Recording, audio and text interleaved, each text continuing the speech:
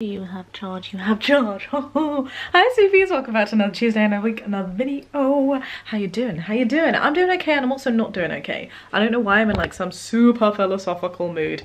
I decided to vlog. I have a video going up at 7pm today. This video that you're watching right now. And I didn't know what to put up. And I didn't want to put up a video. And I had to chat with friends yesterday about it. And I had to chat with Jamie about it. M multiple chats. And I'm like losing my YouTube funk. Then today, I had a brainwave. and I think I'm out of my funk. So I wanted to talk about the funk. Boop. Anyway, I have to leave in like 15 minutes because here in the UK, based on this roadmap, it's quite an arbitrary date, isn't it? But as of this Monday, we were able to see people as of yesterday. And so Jamie's parents have invited us over for dinner. And we were like, yeah, sure we can come see in the garden and eat dinner. It's beautiful weather. We're allowed to do that outside. So I thought as I gave you this little brain fart, I would chat to you about why I feel like I'm in a box. Oh, boxes. Firstly, I'm not filming my normal space because I don't have a mic connected to the setup yet. I very enjoy the process of moving, but same time, I very much don't enjoy the process of moving because everything just takes a while, you know? Should I put on lipstick today? No. right let's get on with some makeup and let's talk about why Charlotte feels like she's in box. As you may know, I embrace my brain farts. My brain farts are plentiful. They happen quite a lot and I made this channel, one as a creative outlet and two as a way to try and make the world a better place in my own little way. Like I wanted to try and make some sort of positive impact. In terms of creative outlet, I love the idea. Just gonna spray myself before one second, one second. Very weird to be doing that on camera. In terms of creative outlet, I love the idea of doing music stuff on here. I do music a lot. I do music, you know what I mean. But uh, I don't have the balls to put it up here yet. So that's not happening, all right? Not yet, anyway, not properly. My second purpose, apart from having a creative outlet, for this channel was try and make the world a better place and I figured the best way we could do that is by promoting something that we don't see on social media very much and that's authenticity right? I gotta just be me. I want to do that for me and I want to encourage other people to just be them because when we really boil it down that's all we want to do just be ourselves right? That is the ultimate sense of freedom and it's a beautiful state and it's something that I'm still learning. I don't think it's like something that many people would complete as a journey. I still keep falling back and getting enveloped by society and as technology keeps progressing and social media algorithms get more and more clever, we get sucked in more and more and that's okay. We've got to give ourselves space to learn and to grow. But that is what I wanted to do and I love vlogging and I will also continue to vlog. Maybe not like in huge great detail. COVID has made it very difficult to do weekly vlogs because there's just nothing going on, but monthly vlogs for example. But I still want my channel to be more than just a vlog you know? Then I started doing these video essays. I'm not gonna lie, I like talking about these things with Jamie, with my loved ones, because it's a great exercise to learn and to grow, to have chats about topics like whether the progress flag is a good thing, whether university is overrated, and all the other little brain fart videos that we've had here, the Cadbury's cream egg advert. And I thoroughly enjoy doing them, and it seems that you, my lovely sweet peas, enjoy seeing them, which is great. I love the conversations that we have down in the comments section, but the problem I have with that is it makes me feel down a little bit to only talk about these bad topics and just be critiquing all the time. So much has happened that I can't cover on this channel. The women's movement, the stopping Asian hate movement, but I don't feel like I want to talk about those because they make me really sad. That's not to say that I won't talk about sad things on this channel, but I don't want to constantly talk about sad things and I don't want to feel like I have to voice my opinions on things that I feel really uncomfortable talking about just because it's a trending thing in the moment. You know, that's not how I want to grow. That's not how I want this community to be.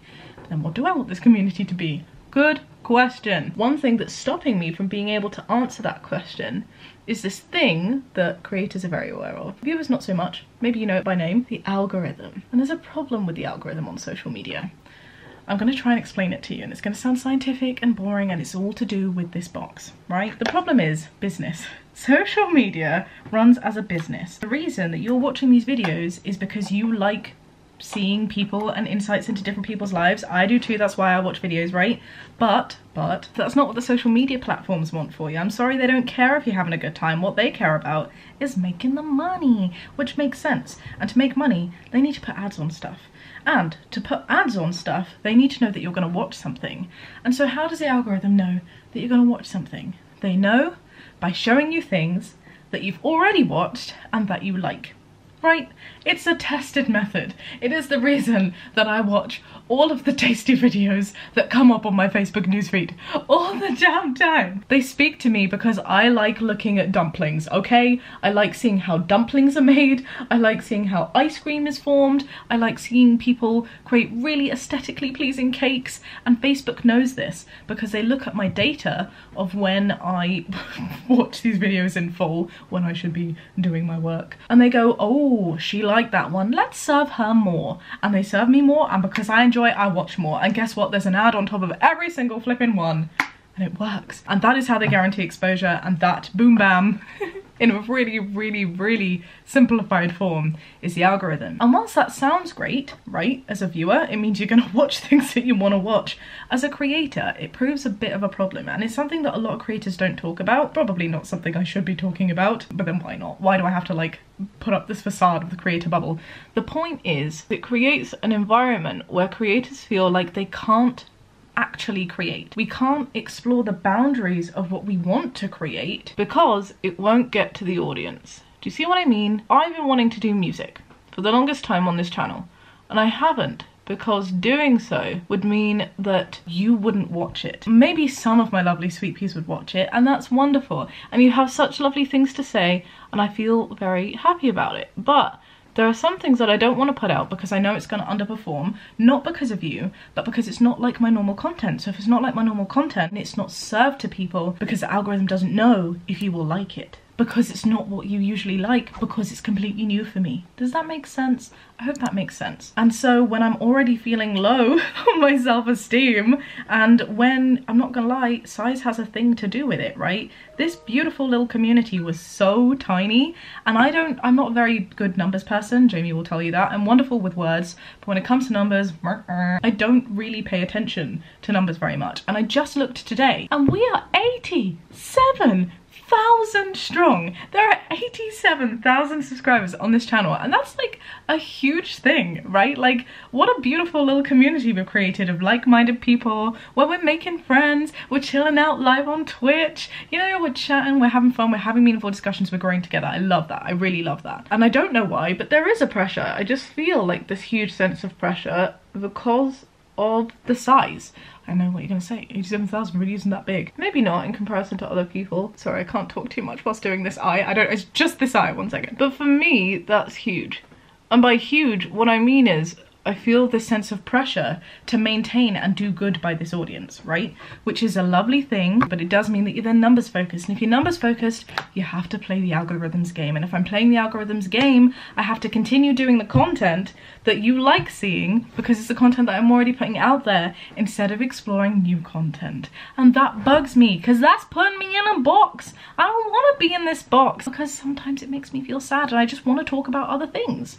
But social media is not created when you're a certain size to allow you to talk about other things. So what I'm saying is basically I'm struggling with my content. I don't know what you want to see on this channel. I want to work on a new set of videos called Lessons from a Brain Fart. Lessons from a brain fart. So that's what you're gonna start seeing on this channel. I also wanna put out some music and I'm nervous, I say this. I'm saying it because I'm putting out into fruition, into the world, right? So hopefully it will manifest itself as being true. But I'm scared because it's not going to do very well. And I know it won't. Not because I don't believe in myself, but because that's how the internet works. And that's fine. I just need to gather up my balls and feel okay about it, which I don't, but I will get there. So I guess that's what I wanted to talk about. I'm feeling in a funk with my content.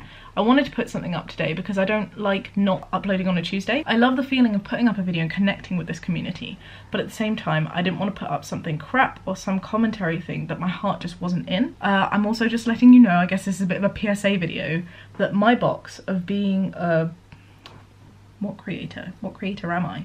Who am I? What am I? This is all coming from Twitch. On our last Twitch stream, I was having a think about wedding favours and I just had no idea who I am.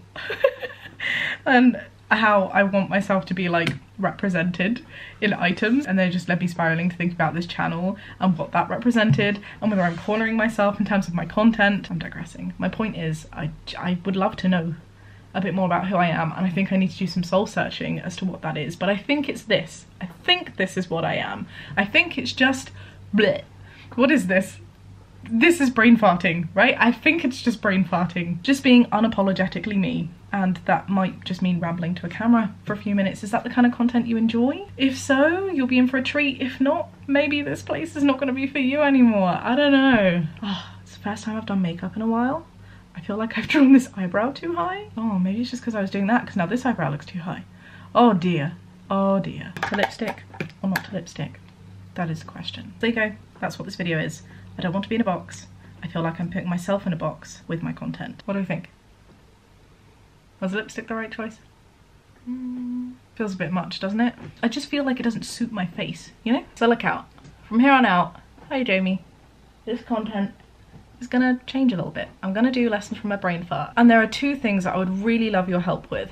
The first is one, understanding who I am. I'm an overthinker. It is my, I say my biggest flaw, it's one of my biggest flaws. I overthink everything, I over research everything, and I think I'm thinking too much about who I am. so I just need an objective pair of eyes to be like, Shaaba, this is what we know you for, this is what we like, this is what you do, and maybe if you wouldn't mind summarising that for me in the comments below, we can have a chat about that. Like, just be honest. I don't mind. I just want to explore my labels. I want to know what it is that I'm putting out in the world. And similarly, if you have any ideas for content that you think might be great, that you like to see, that you think you want to see, please let me know. And just bear in mind that this channel may not be growing because I am not going to be in the box. I, I can't be in the box. It's just not me, and I want to stay true to me. That's it. Brain fart number one done. Loving the eyes though, right? Oh, it's been a while. right, I'm gonna go to someone else's back garden. And I tell you, I never thought I'd be saying that sentence. I never thought I'd be this excited to go and see someone in the garden. But there you go. I hope you guys are enjoying seeing your loved ones. If you're in a position to do so, please stay safe. Please follow the rules and please just make sure you still social distance. We're still going to be bringing masks. We're still going to be social distancing. We're still going to be using hand sanitizer. And that's it from me. I'll see you next week, hopefully, with some kind of video God knows what. Be kind and have a great day. Brain fart complete. Thank you so much, by the way, for being here. I know I mentioned the size and I didn't actually thank, which is so stupid because this isn't me at all. This is a joint effort for the community and I'm very grateful. I have no idea why you are here. I don't know what made you click the little subscribe button. I'm very curious. but uh, for whatever reason, I really appreciate your presence. So cheers. Yeah. All right. Bye.